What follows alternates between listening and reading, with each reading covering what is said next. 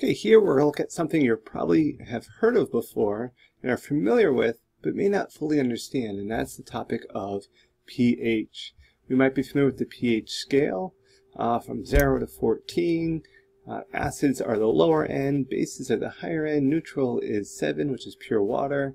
Uh, there's certain indicators that will turn different colors based on pH. We want to try to understand it from a molecular level now. So first off, to start, pH, what does that even stand for? It equals the potential of hydrogen. This scale is logarithmic, meaning it's not linear, and we're going to see um, how, what impact each of these pH numbers mean. It's used to determine the acidity or basicity of water based on an aqueous solution. There's also something called POH, which is the potential for hydroxide. So potential for hydrogen pH, that's referring to hydrogen here, hydroxide is OH. This is the opposite of pH. Essentially, pH plus POH equals 14. That's our 0 to 14 scale.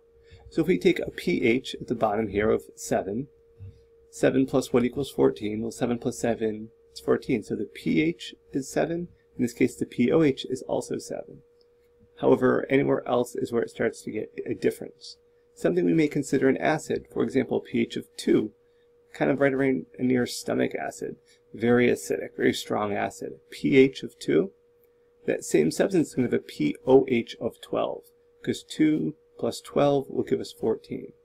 Same thing if we look at a basic solution here, pH of 10 it's going to have a pOH of 4, because again, 10 plus 4 equals 14. Continuing on with our acids and bases, an acid is a substance that increases the hydrogen ion concentration in a solution. So our acids here are pH of 0 to just under uh, 7.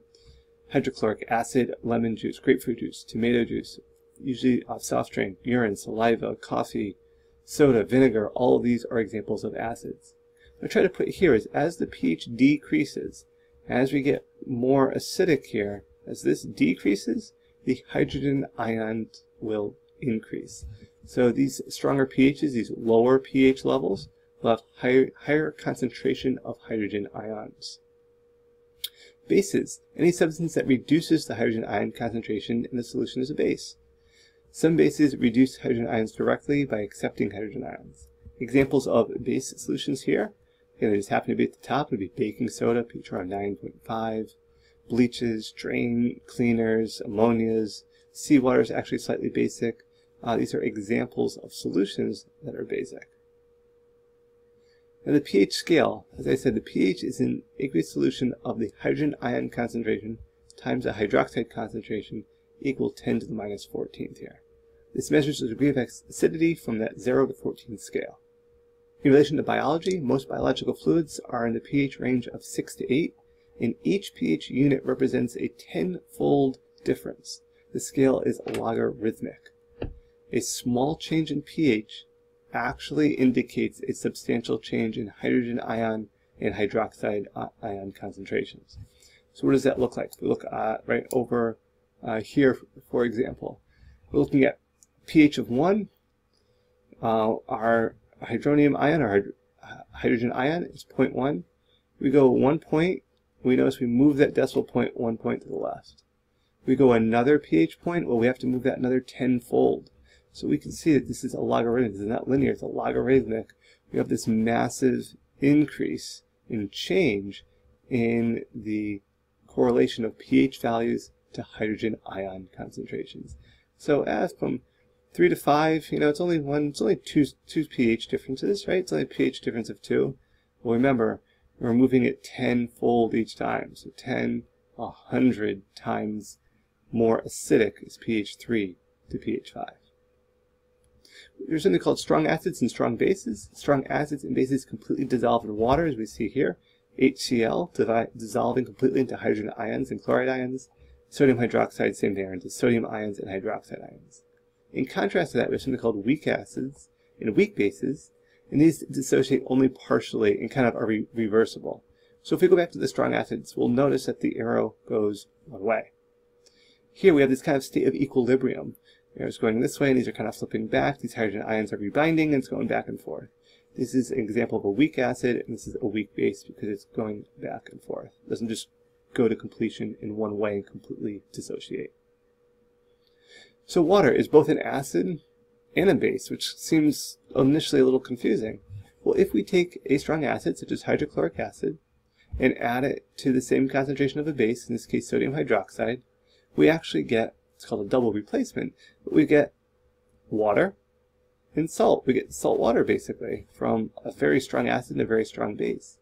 The reason why it's both an acid and a, and a base is we see it's in equilibrium here. H2O is going back and forth between hydrogen ions and hydroxide ions. Now ideally in pure water this will be an even kind of split and this will give us a pH of 7. As we increase the hydrogen ions we then create an acidic solution. So we could see here's our H, HOH is the same as H2O. Here's our chloride from here. Here's our sodium. So this is kind of giving you an idea of how things, these bonds can switch places and give us very different end substances. The pH scale. pH scale is the concentration of hydrogen ions in a given substance. pH equals the negative log of hydrogen ions. So we can see here at a pH of 7, we have an equal number of hydrogen ions and hydroxide ions. As we increase the acidity, we notice the hydrogen ion percent is vastly increasing. Just the same opposite will happen if we increase the base basicity. The hydroxide ions will increase here. See, it stays in the nice box, and that how it always comes to equal 14. We take our pH and add it to our pOH. Now, developing a problem here. So, how much greater is the hydrogen ion concentration in a solution with pH 2 than a solution with pH 6? So, we're looking at hydrogen ion concentration. We have our pHs. Let's go through how we're going to solve this. So, the answer here was a pH of 2 has a hydrogen ion concentration of 1 100th molar. pH of 6, hydrogen ion concentration of 1 times 10 to the minus 6. So we'll notice it's a much smaller number, 1 1 millionth here. So how do we get this? Well, by using the log function, you need a calculator to do this. You can uh, do this, a couple examples here we have 10 to the minus 2, because that's what the 2 is indicating. The 6 is to the minus 6. And we can see that the difference between these two numbers is 10,000 times greater, 2 to 6. So when people say, oh, pH of 2 or 6, well, it's still an acid. 2 to 6, 2, 3, 4, 5, 6, uh, well, it's only like 4-ish different pH units. It's not that much different. It's actually 10,000 times greater hydrogen ion concentration of pH 2 compared to 6. So you can see this makes a large difference. Buffers are very important. They're substances that resist a change in pH. Buffers help organisms maintain the pH of body fluids in a narrow range necessary for life. Uh, the combinations of hydrogen ions, acceptors, and donors form a solution of weak acids and bases. So it's buffering the solution. This works by accepting hydrogen ions uh, from solution when they're in excess and donating hydrogen ions when they have been depleted. So what's happening with a buffer, it's kind of helping reduce the large swings that may occur in solution. You see distilled water, almost no buffering solution. We add a little bit of volume of NaOH added, so add like one drop and we see the pH jump up drastically. In buffered solutions, we see that pH maintain a much more consistent range and only slowly increase. That's what a buffer is doing, while slowing or reducing the massive differences or swings in pH. It's very important, for example, for blood pH. Our, our normal pH is between 7.34 and 7.38. pH of 7 or 7.8, we're getting into very dangerous ranges. pH of 6 or 9 of blood pH leads to death. This is why it's important we have buffers to help maintain this normal pH in this tight range so that we can allow us to survive and allow our proteins to function properly and allow us to be able to carry out our normal bodily functions.